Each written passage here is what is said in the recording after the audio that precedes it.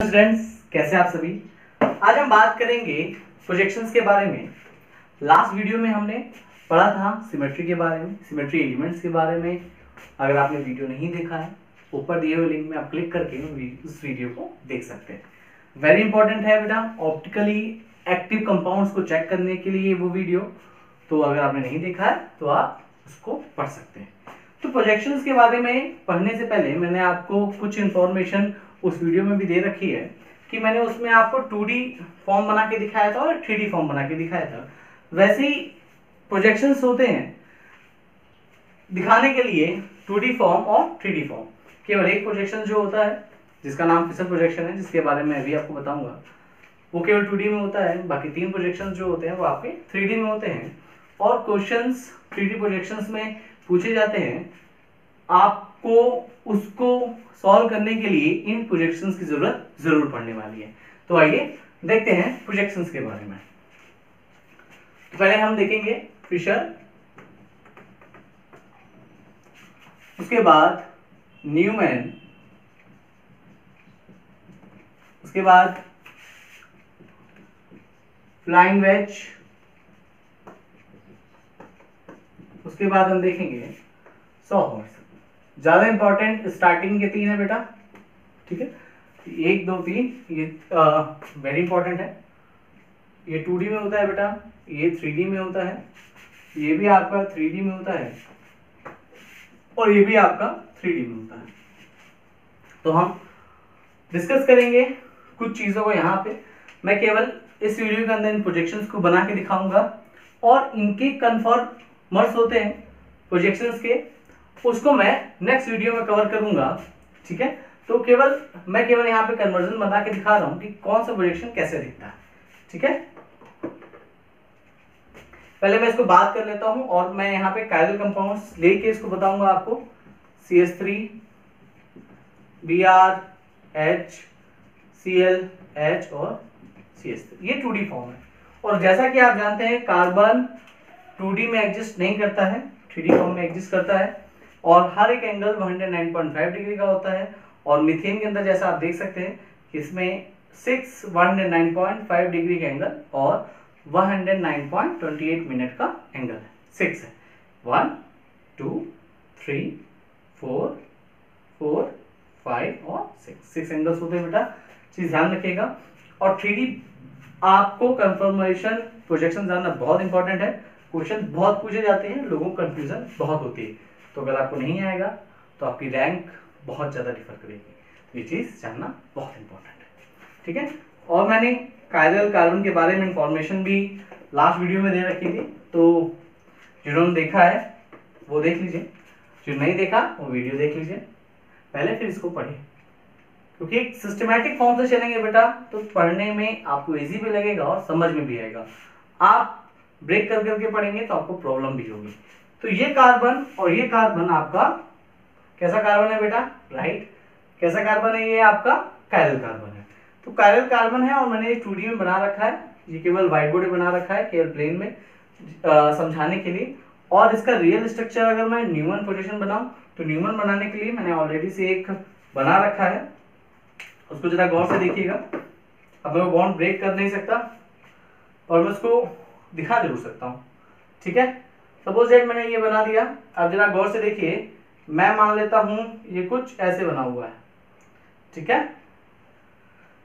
ये कुछ ऐसे बना हुआ है। तो मैंने लास्ट वीडियो के अंदर भी डिस्कस किया था कि जब भी आप इसको थ्री में कन्वर्ट करेंगे तो प्रोजेक्शन आपका फिशर जो भी चीज़ें आपकी ओरिजेंटल प्लेन में होंगी, जो भी चीज़ें आपकी ओरिजेंटल प्लेन में होगी, वो टूवर्ड्स द व्यूअर होंगी।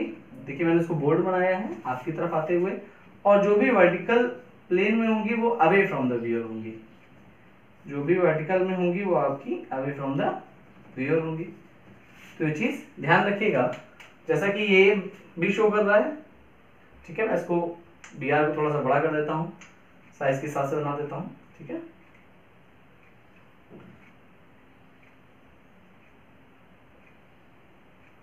तो यहाँ पे चीज़ देखिए कि ये आपका सीएसटी सीएसटी पीछे की तरफ़ अवे फ्रॉम द व्यूअर ये दोनों आपकी तरफ़ आते हुए, ये दोनों आपकी तरफ़ आते हुए, और ये आपकी कार्बन चेन ये कार्बन और ये कार्बन आपका कायरल कार्बन ठीक है?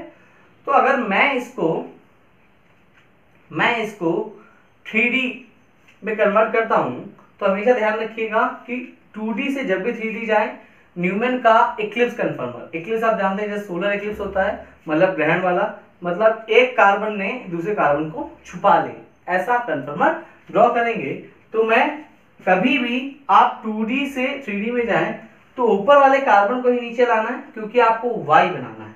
क्योंकि आपको वाई बनाना है, और वाई बनाने के बाद आपको न्यूमन प्रोजेक्शन का इक्लिप्स कन्फर्मर मिल जाता है। तो एक बार आप खुद सोचिए कि कैसे बनाएँगे इसको, फिर मैं आपको बताता हूँ। देखिए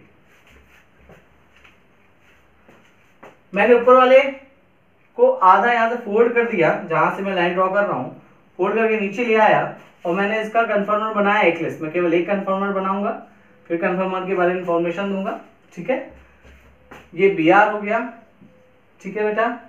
ये आपका एच हो गया, ये आपका सी एस थ्री हो गया। पीछे वाला अगर मैं कार्बन ड्रॉ करता हूँ बेटा, पीछे वाला कार्बन थोड़ा अलग से मार्कर से बना देता हूँ तो ये आपका सी हो गया, ये आपका एच हो गया, ये आपका सी एस थ्री हो गया। तो ये आपका इक्लिस कन्फर्मर है। मैंने थोड़ा सा अलग बनाया ताकि आपको पीछे का कार्बन दिखे। तो आप इसको चाहे तो लिख लीजिए इक्लिप्स कन्फर्मर कन्फर्मर बेटा केवल रोटेट होते हैं। उसमें बॉन्ड ब्रेकिंग नहीं होती। एक्लिप्स एक्लिप्स कन्फर्मर ठीक है? एक्लिप्स कन्फर्मर मैं केवल आपको बता रहा हूँ प्रोजेक्शन में कैसे चेंजमेंट होता जाएगा। केवल प्रोजेक्शन के बारे में इंफॉर्मेशन दे रहा हूँ। कन्फर्मर्स की बात आएगी तो मैं कन्फर्मर्स के बारे में बताऊँगा कौन सा कन्फर्मर दूसरे कन्फर्मर से क्यों ज़्यादा स्टेबल है? तो वो चीज़ें हम नेक्स्ट वीडियो में पढ़ेंगे। पहले हम देख लेते हैं थ्री में रिप्रेजेंटेशन इन चारों प्रोजेक्शंस के। टू में मैंने बता दिया थ्री में इसका प्रोजेक्शन बता दिया। अब इसी का एक्लिप्स कन्फर्मर मैं फ्लाइंग वेज में कन्वर्ट करके दिखाऊँगा। कुछ नहीं करना बेटा आपको, जो ये बना हुआ है, जो ये बना हुआ है, इसको केवल आप चाहे ऐसे रोटेट कर दीजिए राइट हैंड साइड चाहे इसको आप ऐसे रोटेट कर दीजिए। मैं इसको राइट हैंड साइड रोटेट करूँगा तो आप देख रहे हैं बी आर और सी एल पीछे हो गए एच और एच आगे आ गए और सी एस थ्री और सी एस थ्री नीचे की तरफ़ आ गए। तो मैं इसको सेम एज इट इज़ इसमें फ्लाइंग बेस में ड्रॉ करने वाला हूँ। जरा देख लीजिए। ठीक है? अगर आप एक बनाना आपको आ जाएगा बेटा तो दूसरा बनाने में आपको कोई दिक्कत नहीं होगी। तो चीज़ें ध्यान रखिएगा।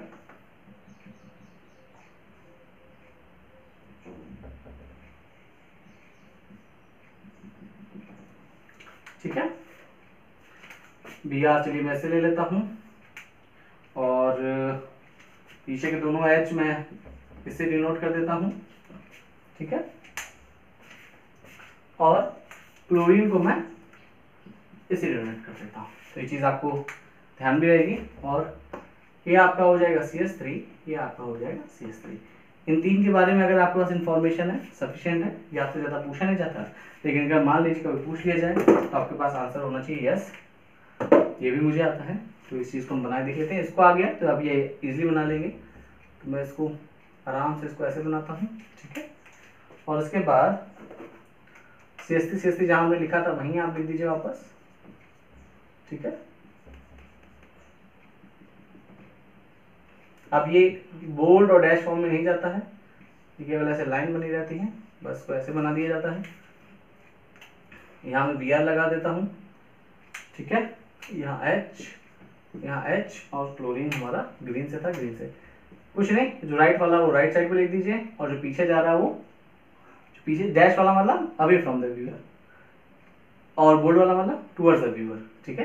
तो towards the viewer right hand side और अवे फ्रॉम द व्यूअर मतलब लेफ़्ट हैंड साइड ये मैंने ऐसे बनाया और इसको मैंने ऐसे ही बना के आपको दिखाया।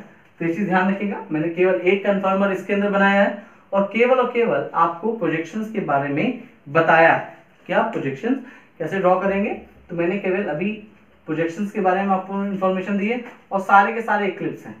यहाँ से लेकर ये भी इक्लिप्स थ्री का, ये भी इक्लिप्स और ये भी इक्लिप्स ये ध्यान रखिएगा कि आप अगर 2D से 3D में जा रहे हैं और 3D से 2D में जा रहे हैं तो आप इक्लिप्स कन्फर्मर के थ्रू जाएँगे। इक्लिप्स कन्फर्मर के थ्रू जाएँगे, वो भी किसके? न्यूमैन के। अगर आपको न्यूमैन आ गया तो बाकी सब निकाल लेंगे आप। न्यूमैन के, और ध्यान रखिएगा इक्लिप्स कन्फर्मर अगर ये बोल सकता है तो कुछ लोगों के दिमाग में ये होगा, सर, आपने वाई तो बना दिया, उल्टा वाई भी तो बना के इक्लिप्स बना सकते हैं। यदि नीचे कार्बन को ऊपर ले जाए तो क्या होगा? तो बेटा ये मत कीजिएगा कायरल कार्बन में आपको प्रॉब्लम होने वाली है। तो ध्यान रखिए, हमेशा वाई शेप में आना है। हमेशा एक्लिस कन्फर्मा न्यूमन का कौन सा? वाई वाला। ठीक है? कौन वाला? वाई वाला। तो ये चीज़ ध्यान रखिएगा। क्यों नहीं होता? आखिर क्यों ये बोर्ड फॉर्म में जाते हैं ओरिजेंटल वाले? ये डैश फॉर्म में क्यों जाते हैं? इसके बारे में इंफॉर्मेशन मिलेगी आपको नेक्स्ट वीडियो में। मिलते हैं नेक्स्ट वीडियो में and if you like my content please like and subscribe my